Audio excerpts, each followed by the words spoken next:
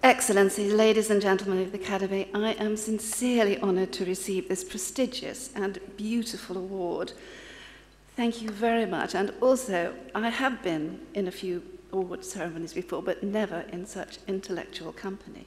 I'm even more honoured by that.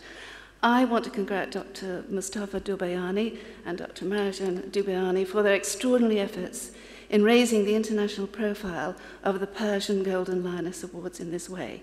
We all know the arts play a significant role in international relationships, and we certainly know how important it is to work for better international understanding. So bravo again to the WALM.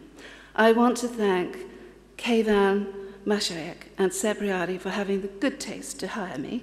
I want to pay tribute to Michelle Milos and Giovanni Natalucci and Andrea Borelli for my co-workers on The Keeper. I especially want to thank my children for allowing me to travel so far afield over the years. Thank you very much.